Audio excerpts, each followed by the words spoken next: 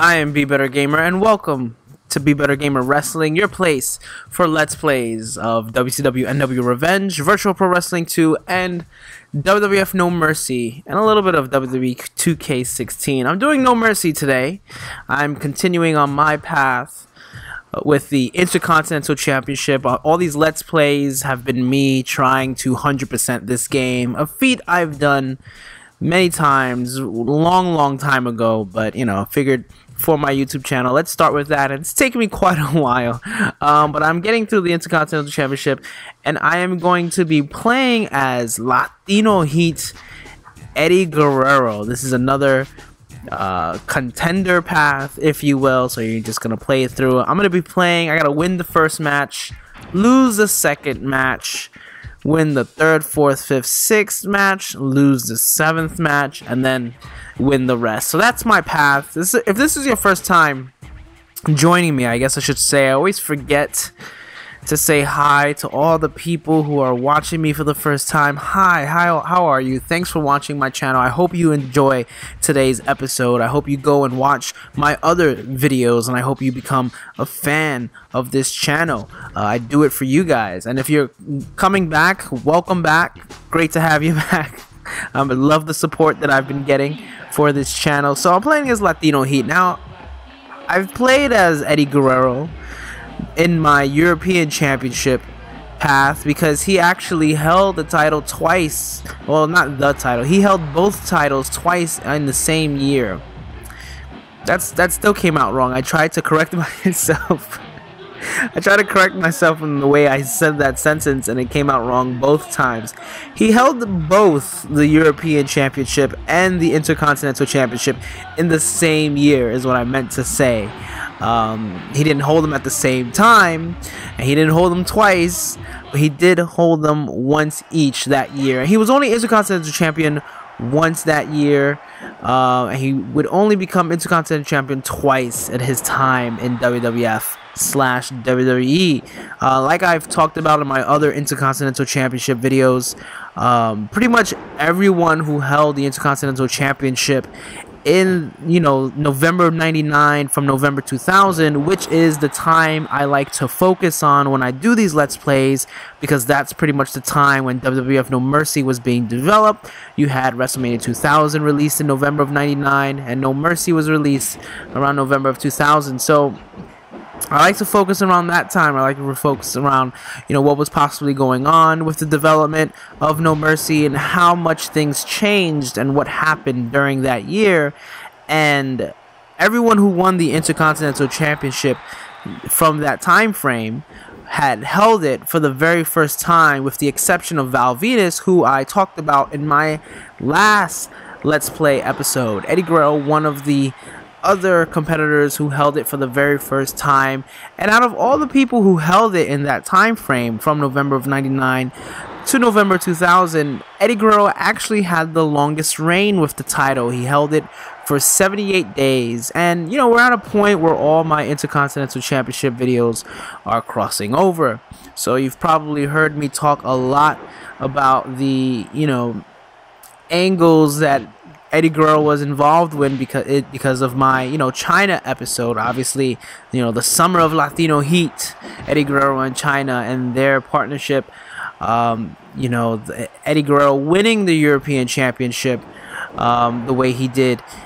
Um, you know, so it's gonna be a lot of. I'm gonna try not to repeat too many things with Eddie Guerrero. I mean, there's still a whole lot to talk about with Eddie Guerrero. He is one of my favorite wrestlers, so I never get tired of talking about him and about his legacy and his impact and what was going on during his time in WWE.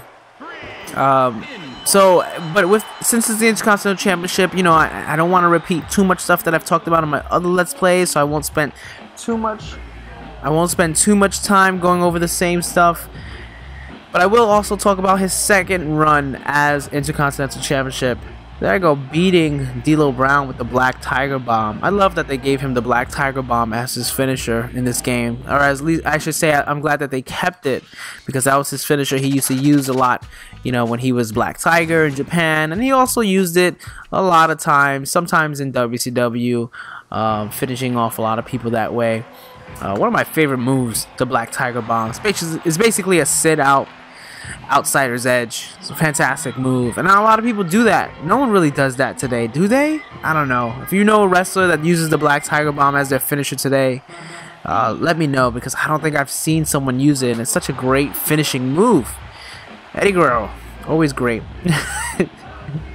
so, so yeah, so Eddie Guerrero that year he was one of the radicals. So in November of '99, he was still of WCW.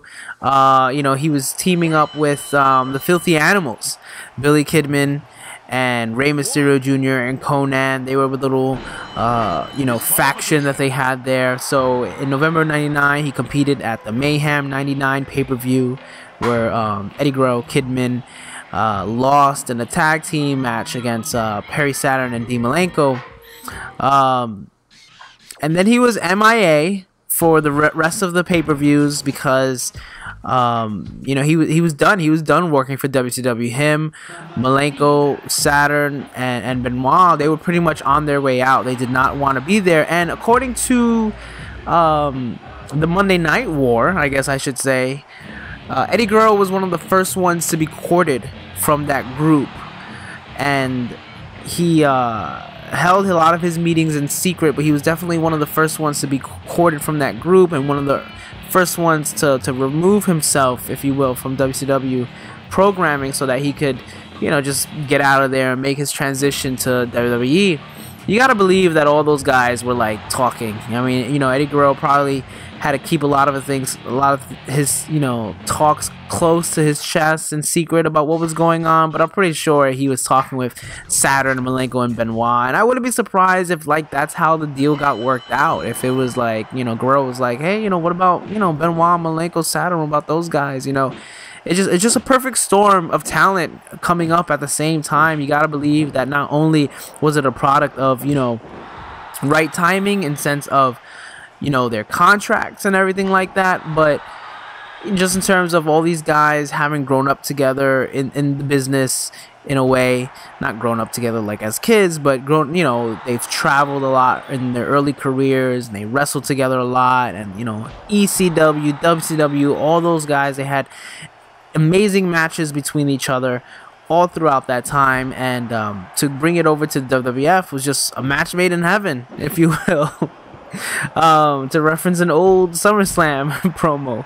Um, Eddie Guerrero probably, and I've said this before, Eddie Guerrero was probably the person I was most excited about, along with Benoit coming over. I mean, it was cool to see Malenko and Saturn, but you know, Guerrero and Benoit were definitely my favorites of the group.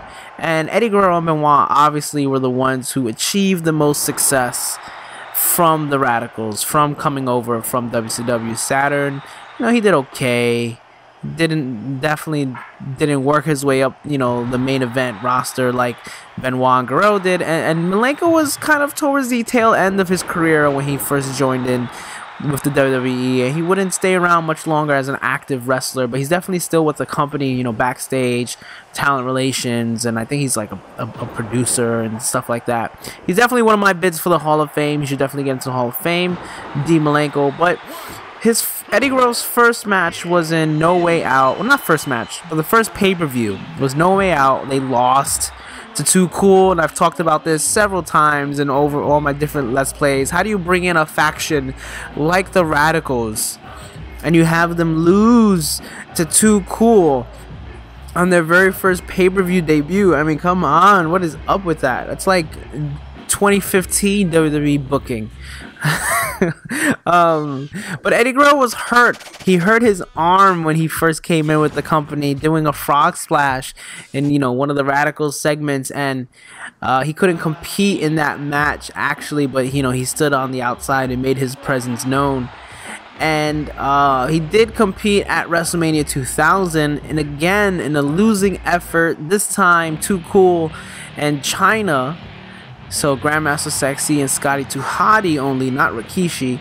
Uh, and Chyna against Guerrero, Saturn, and Malenko in a six-person intergender tag team match. And that's where the seeds of Latino heat started to sprout. because uh, it was after that match that Eddie Guerrero would begin to court Chyna on, you know, in WWE storyline. So two back-to-back pay-per-views. I've talked about it enough. It's, honestly, I'm kind of like tired of talking about it. It just makes me upset every time I think about it. Why would you have? That's like having the NWO show up. That's like if Hogan, Nash, and Hall showed up, and they lost at the first big pay-per-view. That's not what happened. You know, Hogan got the title and he ended up holding it forever almost. It seemed like you know, it's just like why would you whatever, I'm over it. I'm not, I'm not to talk about it. Um so Eddie Guerrero then now he's with Chyna and he at this time he wins the European Championship um, shortly after WrestleMania. Um, he wins it at oh man, where's my notes? Come on. He won it on April 3rd, 2000, the day after WrestleMania. Uh, he defeated Chris Jericho, so Jericho only held the European Championship for one day. Sucks to be you. Uh, but he would hold it for 111 days. He would hold the European Championship. So that first pay per view out after WrestleMania Backlash, Eddie Guerrero, he fought Essa Rios in a very underrated match of the year and he defended his European Championship. Again, he's with Chyna. Defends it against Chris Jericho at Insurrextion 2000. Defends it against Perry Saturn and Dean Malenko in a great triple threat match at Judgment Day, another underrated match of that year. And the fans Oh man, I've, i think I've mentioned this in my Eddie Guerrero European Championship run, but the fans in that match, they just did not know what they were watching. They were watching a fantastic match between Saturn and Malenko and Guerrero, and I think I think those guys were just moving at another level that the fans just couldn't get. They weren't ready for it. They didn't know what they were watching. Uh, but go back and watch that match. Great match. Um, you know, at King of the Ring, Eddie Guerrero would be in the King of the Ring. He would lose in the quarterfinals to uh, Val Venis. And at Fully Loaded, he would lose his European Championship against Perry Saturn. So now that sets us up to talk about the Intercontinental Championship. So here we go. About a month later from losing his Intercontinental, his European Championship, he is teaming with Chyna against Val Venis and Trish Stratus. Val Venis is the Intercontinental Champion, and it's an intergender tag team match. So whoever gets pinned can lose the IC title for Val Venis. So if uh, well, I guess whoever makes the pin, I should say, wins the IC title. That's a better way to put it. It's such a confusing rule to explain. So if Chyna pinned Trish, which is what happened, Chyna ended up becoming the Intercontinental Champion. So that was actually Eddie Guerrero's first brush with the Intercontinental Championship was that match at SummerSlam. Chyna ended up winning by pinning Trish. So Val Venis didn't even get pinned to lose his Intercontinental Championship. And Eddie Guerrero was totally cool with it. Totally cool with it. And the next week on Raw, Chyna had to defend her title against Kurt Angle. Eddie Guerrero managed to squeeze himself in there saying that he was scared of you know the possibility of Kurt Angle beating Chyna. So he wanted to be in that match to kind of like look out for her if you will. And what ended up happening was while Chyna was knocked down because of Kurt Angle Eddie Guerrero lied on her to you know check on her and ended up pinning her and taking the title from her. So that began the rift between um, Eddie Guerrero and Chyna on screen. You know, there was a lot of situations where Chyna would get hurt, and before Eddie Guerrero would check on her, he'd grab his Intercontinental Championship to make sure his Intercontinental Championship was all right. you know, he was. Chyna was upset that Eddie Guerrero kept cheating for every match in order to retain his title. And Eddie Guerrero was upset that Chyna was like posing for Playboy, which was legit. You know, she really did pose for Playboy, and it was a whole big thing. And they worked it into the angles and the storylines involving Chyna. Um, but it was very, you know, I'm not gonna lie, and I've said this before, and I'll say it again. I really enjoyed the Eddie Guerrero Chyna storylines. I thought they were hilarious. I, and it was the it was the beginning of of Eddie Guerrero showing a side of his personality that would come back pretty much you know this charismatic you know, Latino heat is very funny, yet you know he's he will lie, he will cheat, and he will steal do whatever he wants. And it's hard to really hate him, even though you know he's possible of doing so many terrible things. And even that relationship with Chyna you would love and laugh him when he was trying to get Chyna to take him back every time he got her upset. But then right around, he would turn around and do something that made you hate him and want you to see Chyna to kick him back to the curb. And that's exactly, I mean, that's that's Eddie Guerrero in a nutshell, you know. And I think that's what we all love about Eddie Guerrero. That's something he would constantly bring up in his career, even when he was a babyface, even even when he beat Kurt Angle at WrestleMania 20 for the for you know uh, defending his world championship. He cheated to do that. He tricked he tricked Kurt Angle. He didn't play fair. But we loved them for it, you know, and that was the thing. It's like if Eddie Guerrero was in a position where we were supposed to love him, we could totally love him. If he was in a position where we he had to be the number one heel, we could totally hate him because he was just so dynamic as a performer that he can play both sides extremely well and have us eating out the palm of his hand because he was just he was just that talented. I miss Eddie Guerrero, man. I'm just think about him every day. I really do. Um, you know, I, that's not that's not that's not a joke. That really, I say that a lot, and I think I've probably said that in my European Championship path and my revenge. You know, let's play about Eddie Guerrero. But I really do think about Eddie Guerrero a lot because I think about you know what he would be doing today in wrestling you know where he would lie. Would he be working with lucha underground by chance? Would he still be with the wwe what kind of role? Eddie guerrero would totally be like the best general manager. I mean we haven't had a good general manager in a very long time and i think a lot of people are getting tired of the authority shtick you know what i mean? And hopefully in 2016 we'll start to see them move away from the authority angle and the general manager role, I think, is probably the most versatile role because it doesn't have to be a heel general manager. It could be a babyface general manager.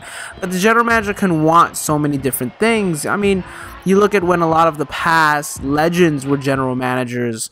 Uh, you know, Ric Flair, Foley, Austin, I believe, even at one time was a general manager. And those, to me, were always the most entertaining when you had very prestigious, high level people involved in those roles because they brought so much more to it. If Eddie Guerrero was still around, man, I would love to have seen him do a, a, a general manager role, you know, and him trying to you know, achieve his own agenda, whatever that might be. I mean, you never really knew what Eddie Guerrero was gonna do until he did it, and you were always surprised, or at least, you know, uh, felt foolish that you were deceived and maybe thought he was going to go in a different way and just very talented all around how he was able to work the crowd, work the audience, make us believe that he was working either his opponents in the ring or people he was doing promos with. And and you saw the beginnings there. You saw the beginnings there and you saw why it was important that these guys came over from WCW because they were they were in their prime you know, they had a lot to give and they definitely deserve to be in the main event picture. And Eddie Guerrero, absolutely no question about it. As soon as he started coming to the WWF and performing there, you know, he wasn't, it wasn't just like, oh, Eddie Guerrero, the great technical wrestler, which he was. Uh, it was, it was about Eddie Guerrero, the character, the person, which he never really got to showcase too much in WCW. The closest he ever got, and I talked about this in my WCW NW Revenge Let's Play, because Guerrero was in there as well, um, was the LWO angle, you know, and his feud with Rey Mysterio and a lot of the things about that and how personal of a feud it was and uh, that was the closest we got to see Eddie Guerrero really let loose on the mic, really cut a, a fantastic promo and show us a, a, deeper part of him that we can relate to and understand and say, oh yeah, you know, and I really get what this guy is coming from, and I either like it or I don't like it, and that's good. You know, we want to be able to relate to these wrestlers in some way. Uh, I think that's the that's the issue a lot of people have been having with Roman Reigns um, recently is that they don't know how to relate to him, uh, and also the way his character is being represented is not being represented in a relatable way. Um, you got to give the wrestlers storylines and time to develop that so that we can relate. And if you're not giving the wrestlers the opportunity to do that, then you know of course they're gonna have trouble, you know, moving up the ranks in in the uh, in the card, if you will, moving up to the main event level. And Guerrero was definitely a product of that. He was he was someone who had all the potential, and obviously many years later he would realize it to to be in the main event. But because he was being held back in WCW, you never got to see it. You know, it's it's a vicious cycle. You know. Anyway, so let me get off of that a while. Let me go back to Eddie Guerrero. Um, so with the Intercontinental Championship, so he won the Intercontinental Championship, and that's caused a rift between him and Chyna. At Unforgiven, he defeated Rikishi due to disqualification. Um, you know, again, and that also, you know, Rikishi attacks Chyna pretty brutally after the match, and Guerrero goes and checks on his Intercontinental Championship before he checks on Chyna. Um, at No Mercy, he didn't compete, but he did interfere in a tag match between uh, Right to Censor and Chyna and Mr. Ass, and he attacked Chyna with a bouquet of roses, roses costing her the match. So, um, you know, that was pretty much the end of their romance, if you will, the No Mercy. Because after Unforgiven, he proposed to her and she stayed with him, and and then he she caught him with some of the Godfather's hoes, Attitude Era storyline, people. Um, and you know he was caught red-handed, so you know it just that just kind of really put the kibosh on it. And then he attacked her at No Mercy. So that set up a feud then with her and Eddie Guerrero, and then the Radicals reunited around this time, and DX was kind of reuniting around this time, but it was a very like a B team DX. It wasn't really like you know Triple H and them. And uh, the Radicals at Survivor Series 2000. They finally get their big pay per view win. They beat Road Dogg, K-Kwik, Billy Gunn, and Chyna in a, you know, four on four tag match. And actually, right before Survivor Series uh, 2000, Eddie Guerrero would lose his Intercontinental Championship. When it was right after. It was right after Survivor Series uh, on the episode of SmackDown right at, immediately after Survivor Series. He would lose his Intercontinental Championship to Billy Gunn. So that's pretty much his year in summary in a nuts, nutshell. I, I barreled through it really fast because, you know, I've talked about it at length in his European Championship run. And, you know, I've talked about a lot of his beginnings and origins, and especially a lot of his stuff in WCW, in his WCW and the Revenge Let's Play. So I didn't want to spend too much time on that, but I do want to talk about this is my second cage match in this in this freaking uh, in this freaking Intercontinental Championship run. I really don't like cage matches in this game because I've talked about it before. The computer they could really win it easily, and The Rock is in winning territory right now.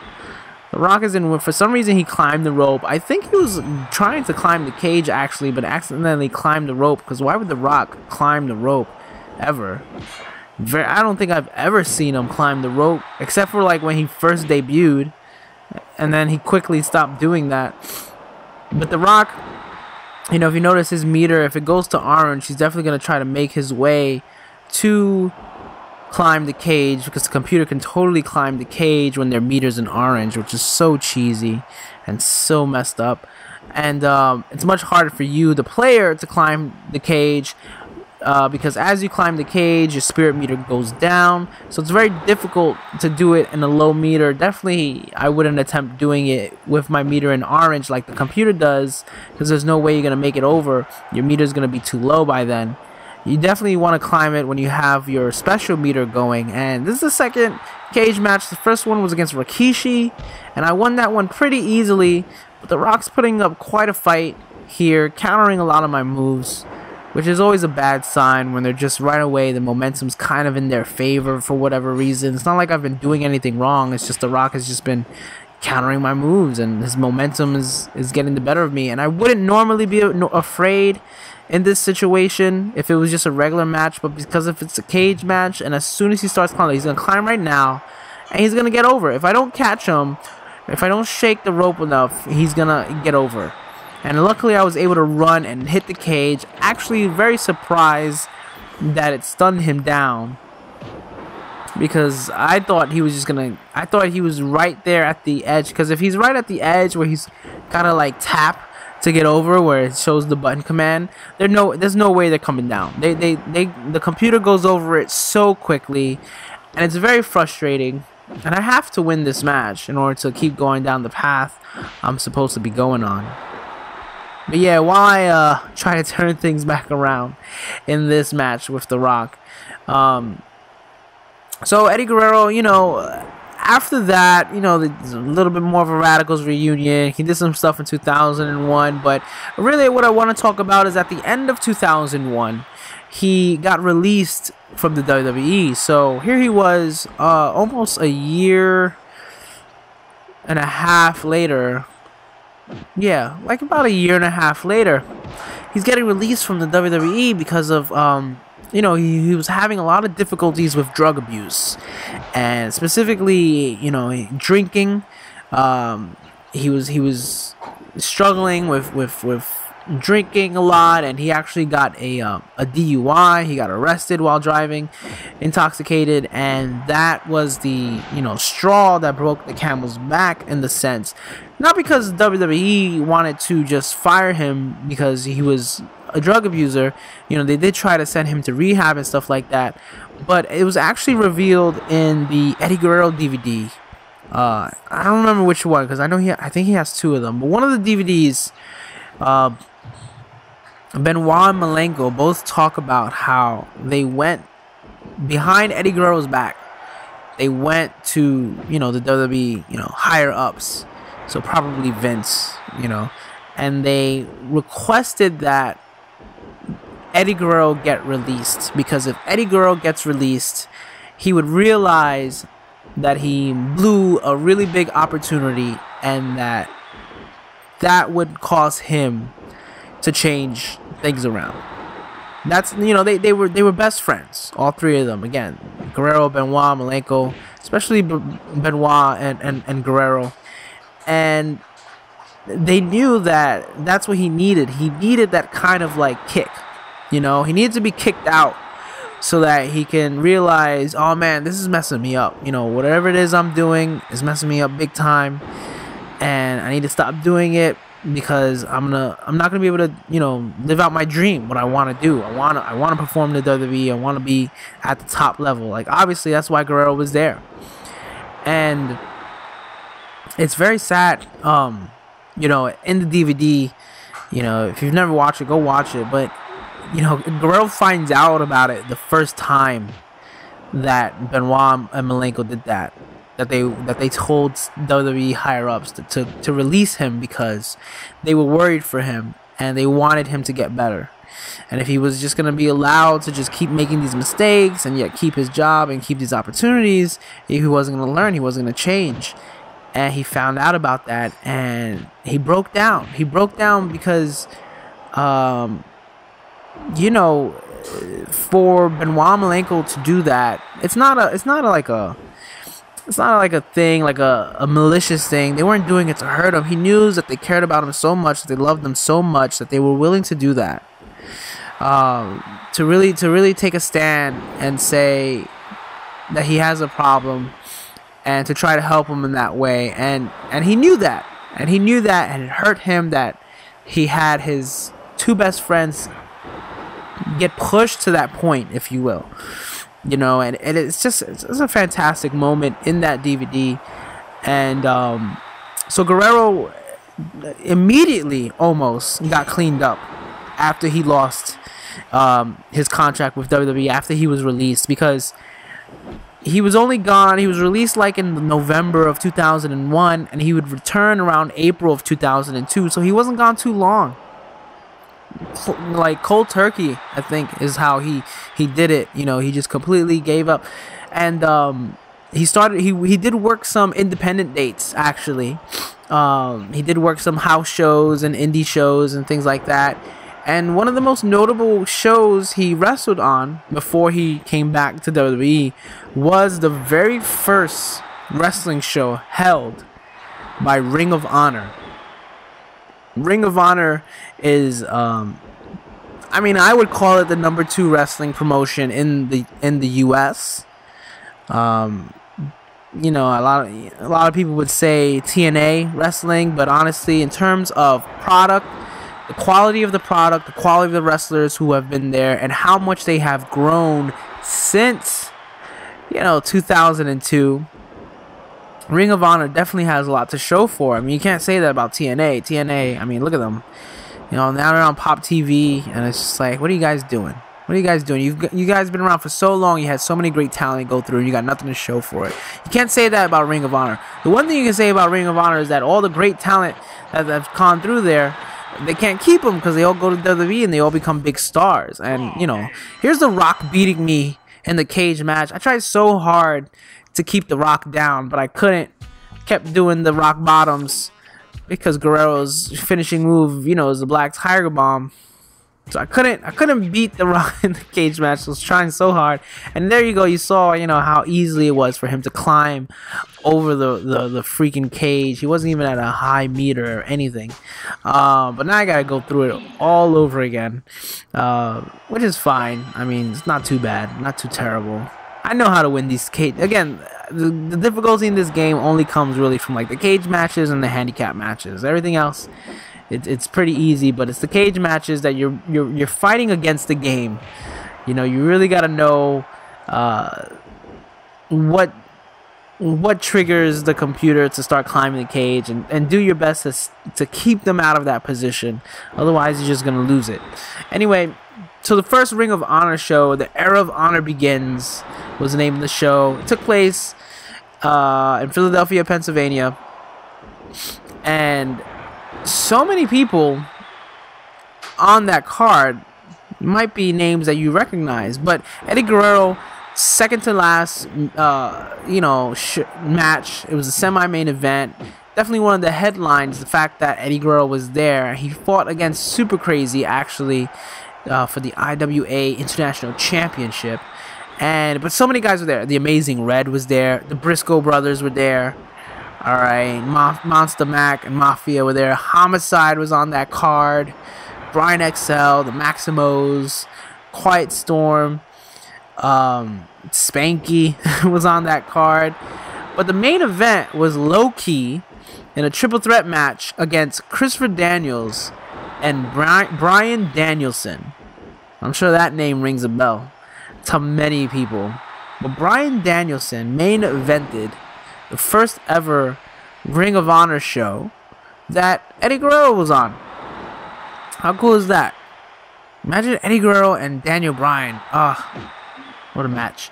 Um, but yeah, isn't that crazy? Like how far, how long ago that was? I I saw a Ring of Honor show way back in the day when they were first starting out. Uh, you know, because we were all looking for our ECW fix. You know, what indie promotion was going to take ECW's spot. And uh, Ring of Honor started being the buzz promotion around uh, for whatever reason. I don't even remember why people started talking about Ring of Honor. They just did. And I went to I don't know I don't know how many Ring of Honor shows because again I went to them when I didn't even like acknowledge the fact you know they weren't a big deal. They were just another indie promotion up and coming. It's just that they had a lot of the big indie guys always on the same car. So I got to see CM Punk, I got to see Samoa Joe, Daniel Bryan, you know, uh, Bryan Danielson, or American Dragon as he used to be billed also, uh, Christopher Daniels, all those guys. And a lot of those guys now are part of the WWE and they're all big stars, superstars. So it's just very cool to see that. Um, you know, I remember too when Eddie Guerrero left the WWE. Remember when that happened and that he was gonna be working some indie shows. And it wasn't until I started doing research for this video that I realized, oh, the the the card where he was gonna fight Super Crazy, because I remember that happening and that being talked about. Um, was the first ever Ring of Honor show. That I didn't remember. That I didn't realize. I was like, oh snap! I didn't even remember when the first Ring of Honor show was, but um, so that was pretty cool. that I got to realize that while doing research for this video. And, you know, he did a few other shows, this and that. But again, he would come back to the WWE in April of 2002. So he wasn't gone that long. You know, WWE, again, he, he, he left on terms mainly because his friends wanted to see him get better. And also, I would imagine because WWE wanted to see him get better because they wanted him in peak physical form and peak mental form so that he could achieve the highest possible levels of success within the company that everyone knew he was capable of. And obviously, a couple of years later, he would become the world champion, you know, and so, um, you know, everyone knew, everyone knew how great, you know, Eddie Guerrero was and how great he could be for the company, but, you know, he had to make himself better first. He had to get rid of his demons. Uh, but right away, when he would come back, he would start a feud with uh, Rob Van Dam, who at the time was the Intercontinental Champion. And his first pay per view match back uh, with the company was Backlash 2002. Uh, you know, the pay per view following WrestleMania and he would beat Rob Van Dam for the Intercontinental Championship for his second Intercontinental Championship reign. Uh, again, within a month of coming back from the company, so right away, that's how much faith they put in him. He comes back, makes an impact, has a has a really good match, really solid match with RVD on Backlash. Um, again, another sort of like dream matchup. You know, a matchup you you know you're gonna have uh, a, you know you're gonna have a great match come of it between guys like our you know RVD and Eddie Guerrero. So that was a really cool match. But the the real highlight of that feud would be um, when RVD would take the title back from Guerrero. Actually, so they fought in a ladder match on May 27th of 2002 on an episode of Raw. And you can find this episode of Raw on the WWE Network because the WWE Network has some of the older Raws, and this is one of them. And I highly recommend going seeing this match. You can you can check out the Backlash one too because they have all the pay per views. But check out this match. It's on the WWE Network. Rob Van Dam, Guerrero. If you want to find it, the easiest way to find it, it's Raw Replay 470, May 27th, 2002. But the easiest way to find it, just search Guerrero and and Van Dam. That's what I put, and it came up. It was the first thing that came up. Because it's it's regarded as one of the best Raw matches of all time, and I would have to agree. It's a long match, almost as long, if not longer. You know, I didn't really look at the times than their pay-per-view match at Backlash but it's a fantastic match. They beat the crap out of each other with the ladders. Rob Van Dam does like 80 rolling thunders onto that thing. you know, just just completely like disregard. And again, you gotta think this is a time when Eddie Guerrero just came back within the company. He's still coming back from all his stuff, and here he is just wrestling at, at you know peak performance against Rob Van Dam in this ladder match, putting his body on the on his line. You know, that's how much he loved the company. You can definitely see that in that match because of how he um how he pretty much, you know, wrestled, you know, in that in that match with the damage he sustained from the I just realized I should say I'm getting distracted cuz I'm like why am I taking so long to climb the cage? as Eddie Guerrero. And I just remembered the reason why I'm having such difficulty winning this match is because I have to make The Rock bloodied in this match, which is which makes cage matches even more annoying. I just I just remember that that's that's one of the you know ways that you need to win this match is you have to bust your opponent open to win. He can climb the cage, no big deal, and boom, there he goes. He's bloodied. Let me give him a rock bottom for his troubles make sure he stays down. I'm not going to have enough time to climb that cage, though, because my meter is going to be spent. I'm going to try it anyway. But look, this is exactly what I'm talking about. Let me see if I can get over. I totally forgot, because I recorded this so long ago. I totally forgot that I had to make the rock bloody. Look at that. Not enough time. Ah, for, you know, tapping the A button as hard as I can and I still don't get over because my, my, my special meter was gone. That definitely, so now I've gotten The Rock to where I needed to be. Totally, I apologize. I've recorded the gameplay for this probably months ago, but because I kind of fell off the bandwagon when I was doing these Let's Plays, um, didn't remember the actual, and I wasn't looking at it at the match um, description before it aired because I was looking at my notes.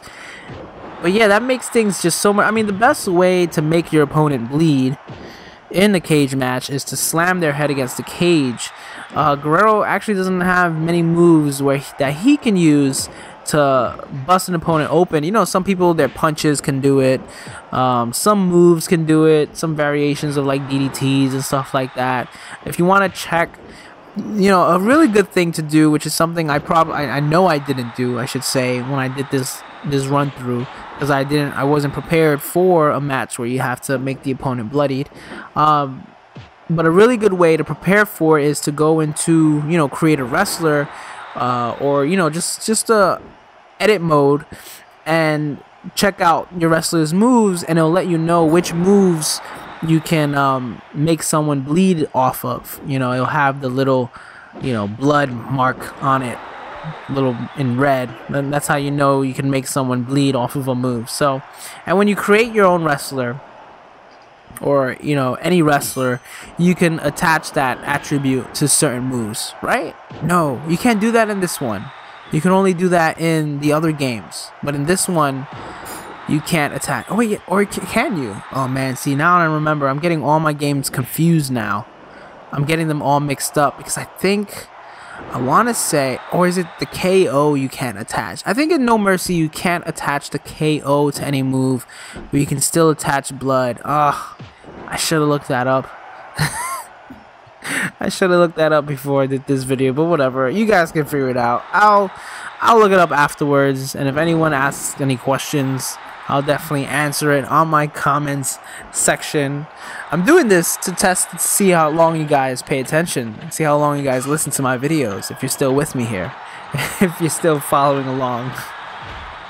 But yeah, um, so that's what makes cage matches even more difficult is when they add that, and they do that quite a bit. I hate when they do that in the story mode. Um, it's like make them bleed to win. It's like no, like why don't you just I'm already playing this really hard cage match where the computer has the advantage against me. And there's the rock climbing again. And I'm to be so upset if the rock gets out of here. Look at this. Look at this madness. The rock, I got him bloodied. He's got like no meter.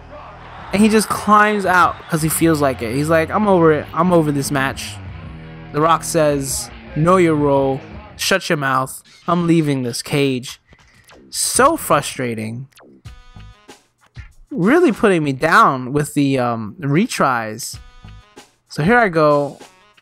How many retries do I have left? I mean, I, I spoiler alert, I do beat the Intercontinental Championship run, but again, I don't remember. I don't remember all this happening. Toward the end, yeah, all right, we get it. Oh, do I just take the L? I don't just take the L, do I? oh, yeah, that's right, because it's still... It still worked out. I just had to make him bloodied. Okay, that's what happened. I'm like looking at it. I'm like, oh, but the path still went the way it was supposed to go because all I had to do was just make him bleed, even though I didn't win the match I still advanced on to the next section. So that's kind of cool. Didn't realize that. Learning so much. But now I gotta face Vinnie Mac and Shane. And this this uh, handicap match pops up a lot in championship mode across the different paths.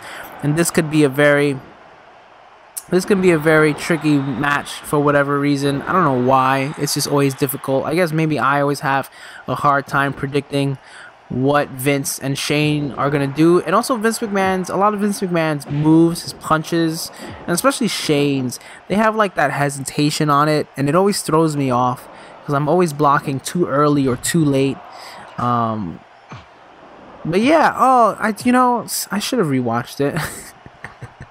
you know, I, I recorded this so many uh, months ago, and now I'm finally getting around to do the audio for it because I'm, you know, I'm doing my best to keep, you know, upload uploading my content fairly regularly, so I don't spend too much time between uploads. And I totally forgot how crazy this Intercontinental Championship run with Eddie Guerrero is definitely way more exciting probably than the European Championship run in terms of stuff that's been happening in the past. But yeah, I guess you didn't have to, you know, all this time I was probably freaking out. You know, I know myself. I know exactly what I was doing. I was probably freaking out that I lost the other match with The Rock, and it ended up just creating, it just ended up going to that final path that you needed to get to anyway. So that's kind of cool. But yeah, let's get back to the Eddie Guerrero because this is the last match, and I, you know, I, I think I'd win this in one shot. I'm pretty sure I do. But spoiler alert. But so Eddie Guerrero RVD that match, that ladder match, definitely go watch it. Two, a few things I noticed about that ladder match. One, psychology was out the window, like it is in most ladder matches, and a lot of people today like to complain about how ladder matches today there's no psychology. Well, this is a match from almost 15 years ago, and there's no absolutely no psychology. You can you can tell they're just putting on a great show for the fans, and there's nothing wrong with that. Sometimes in these you know ladder matches and TLC matches and tables matches and whatever, sometimes you don't necessarily care if there's psychology or not. You just want to see two great performers in the ring come up with some cool stuff, come up with some cool spots, and you know it's it's not hurting anyone. The real, I mean, the real anything. RVD doesn't didn't really need to be there when the match was over because after the match, so Benoit was there. That was his first time back in the company because he was out due to a neck injury. He got surgery and he was out for like a whole year.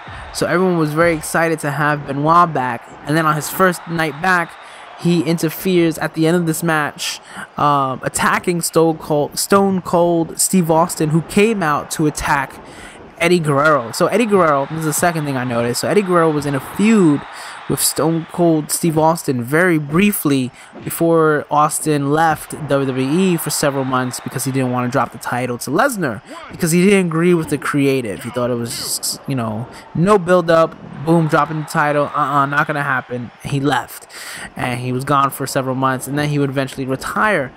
But Eddie Guerrero and Austin were about to have a feud. How awesome was that gonna be?